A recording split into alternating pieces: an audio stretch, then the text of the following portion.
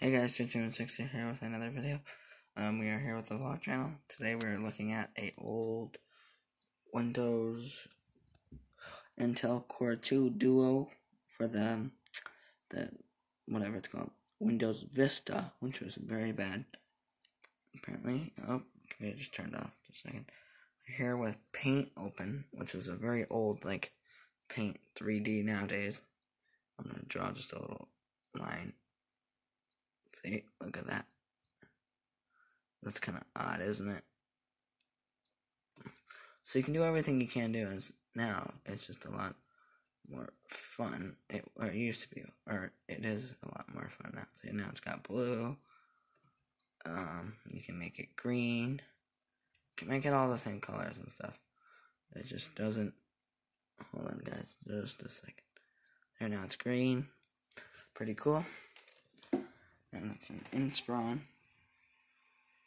over there. That's the number there. Pretty old computer, gotta say.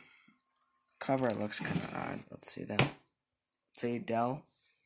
And then my old laptop that I used to use. Well, not really a laptop, but just a second.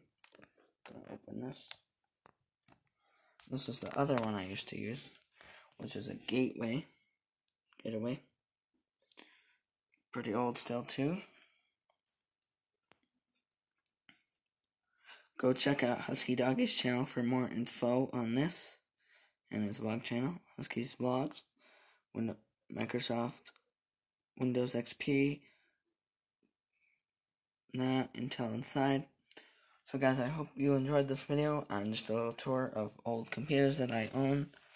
If you like that, I don't have any other old stuff, just old pic or um, stickers and stuff. If you enjoyed, make sure to subscribe and smash that like button. Just remember, this video will be on both my channels. Peace out.